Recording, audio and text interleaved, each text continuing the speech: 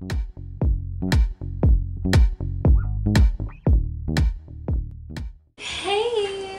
Jag ber om ursäkt för att kameran är lite låg därför att ni ska se vad jag gör här.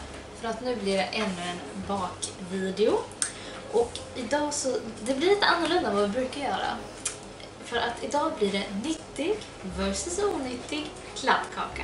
Och eh, jag vill bara säga det att det här är inte min idé utan det är helt och hållet taget från Vendela Nilsson som brukar göra såna här videos lite till och från. Hon har bland annat gjort nyttig versus onyttig kladdkaka.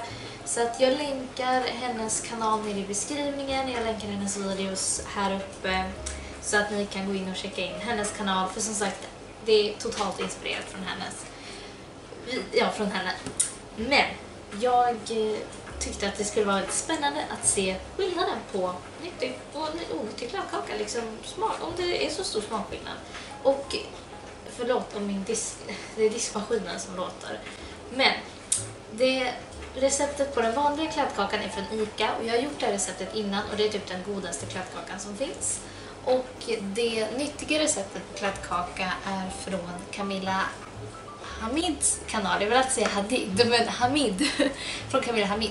Och jag länkar hennes video här uppe och så länkar jag recepten här nere i beskrivningen om ni vill checka in det. Så att eh, vi sätter igång med den onyttiga kladdkakan först. Och jag har skrivit ner hela receptet i min lilla bok här. Så ska vi se här, man ska ha 100 gram smör och det ska man smälta. Det har redan smält bakom kameran. Man ska lägga in det sist, så att ja. Eh, och sen så ska man ha i två stycken, eller jag, alltså jag bara häver i som det, alltså bara kronologisk ordning. Man ska egentligen ha i en viss ordning, men det struntar jag i. Så jag tar i två stycken ägg.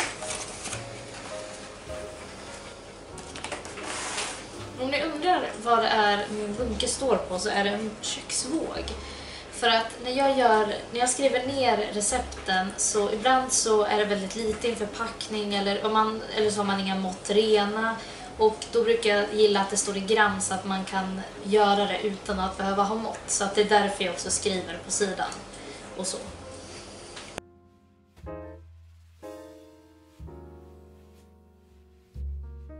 Och nästa grej är eh, 3 deciliter strösocker.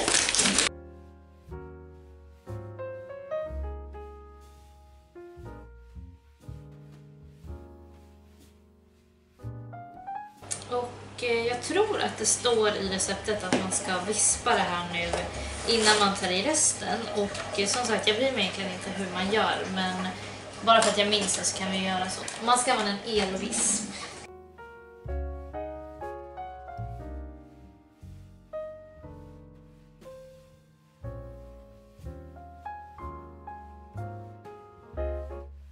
Sådär, nu har vi vispat det lite grann så ska vi fortsätta med resterande ingredienser. Vi ställer den här på sidan sådär.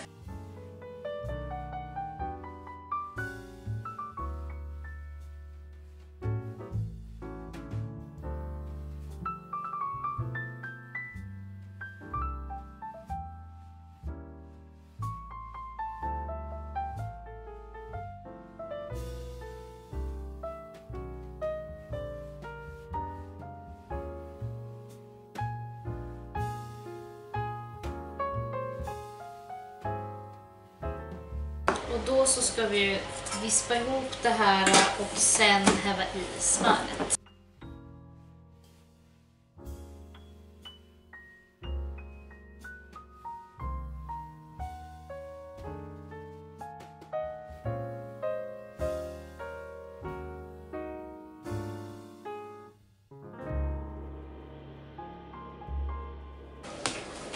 Sådär. Då har jag blandat ihop allting så då så ska vi häva det i den här formen. Nu är det grejer överallt känner jag. Ska jag gå undan den här snart. Men sådär. Så ska vi ha en sked eller en slev eller en slickepott. En sked tar vi. Så, så får vi droppa av lite. Vi ställer det här, det var nyss. Så häver vi ner den här. Och det här är en sån här tyflonform tror jag det heter. Så att den behöver man inte smörja. Utan den är det bara att tjoffa ner smetet i.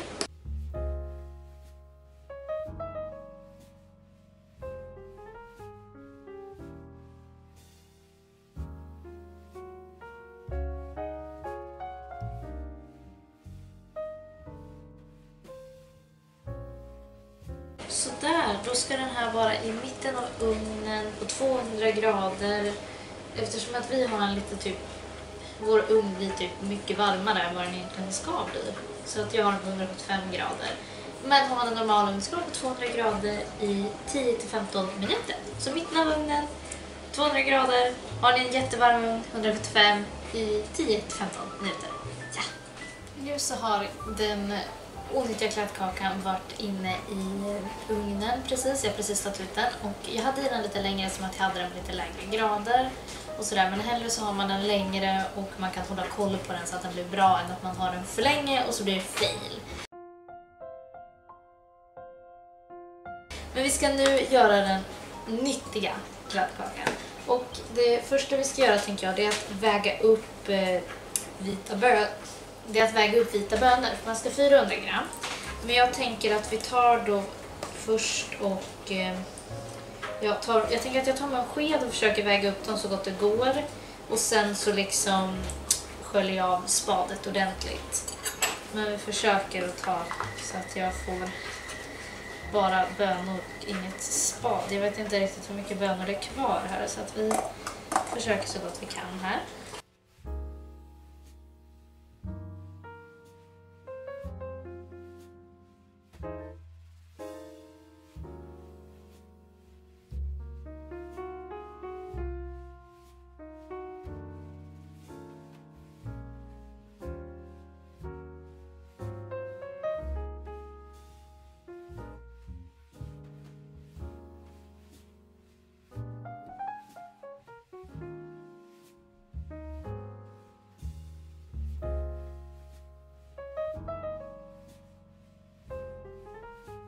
Sådär, 399 gram om man skulle ha 400. Alltså vi kan inte hitta en böna tror jag som väger 1 gram. Så att, ja, jag tänker att jag eh, vad heter det, vaskar ut eller så här, rensar ut så att allt spad försvinner och så kommer jag tillbaka. Så då så har jag fixat så att allt spad är borta, eller nästan allt är lite kvar. Eh, men det kan jag inte få bort. Och då är det dags för restera, eller ja, att börja häva i saker. Man ska ha det i en matberedare, så jag har ju min lilla matberedare här. Så vi sätter igång. Och det första man gör är att ta i två stycken deciliter havregryn. Jag tar fiberhavregryn.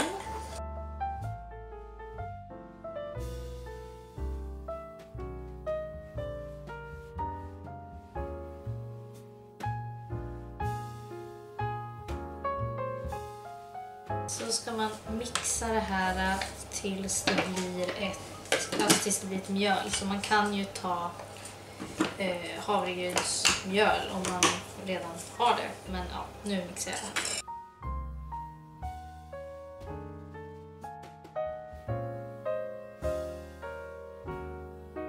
Sådär någonting. Då är det ett ganska så fint mjöl. Sen så ska man då ta i bönorna och jag tänker då att vi kanske ska ta i lite i taget eller så tar vi allt på en gång bara. Det funkar det med.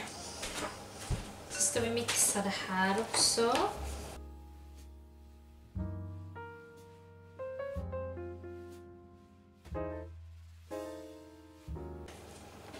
Oj gud, allting har klättrat upp på sidorna. Och tydligen så ska bara alltså bönorna göra alltså konsistens. Det är därför det finns ju recept med svarta bönor också på kladdkaka. Och det är väl just för att bönorna ger samma typ av konsistens.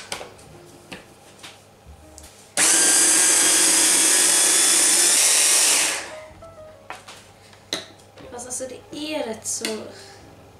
Jag vet inte heller om det här går att mixa något mer. Alltså så här, det är ganska bra mixat ändå. Jag vet dock inte hur det kommer gå. Det kan vara så att jag måste röra ihop resten av ingredienserna. För det här verkar inte som att det kommer få plats så mycket mer. Men jag provar i alla fall och gör det i den här och om det inte funkar så får jag ta en bunke.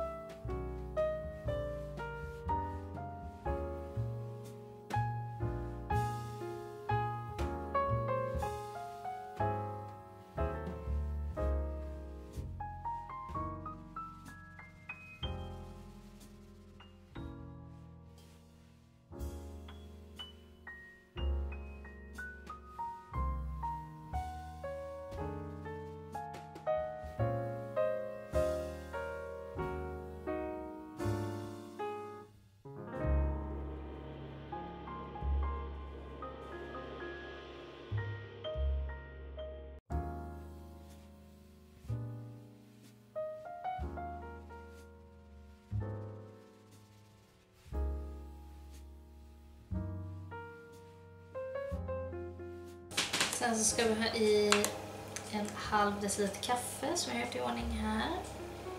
Jag har ju mina Starbucks-kapslar. Ja, sen så ska vi ha i lite salt. Och jag bara tar lite salt. Och som sagt, salt och kaffe, det ska så här äh, förgylla eh, chokladsmaken. Så att det är ju bra att det ska bli. Sen så ska man ha i en och en halv deciliter kakao. Gud, det är ganska mycket kakao.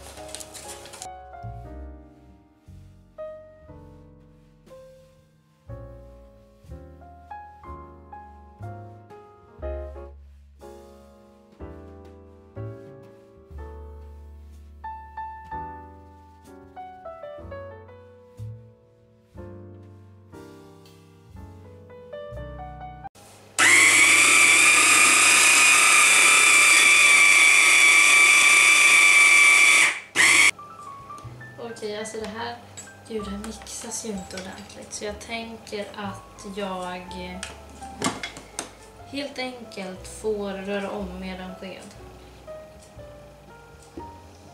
Det här är varför du har en stor matberedare barn. Sånt här, man behöver stora grejer. Jag får nog ta en ny bunke. på Den här, jag får flytta undan lite saker så att jag får plats. Så gör vi så här.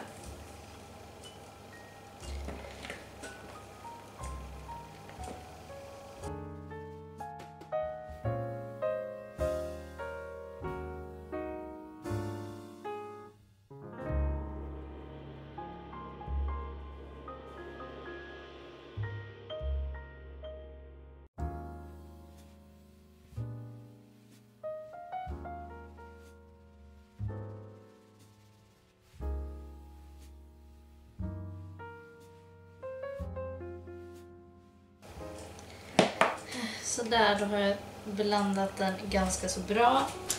Eh, jag tänker det att jag fixar i ordning med den här. Den ska vara i ugnen på 100, 175 grader i 20 minuter. Så jag tänker jag fixar det så ses vi när det är dags för provsmakning. Sådär, då är de klara. Här har vi den nyttiga och här har vi den onyttiga. Och den nyttiga, eller onyttiga ser ju lite godare ut än den nyttiga. Men jag vet inte. Vi ska prova. Vi provar först med den nyttiga tänker jag.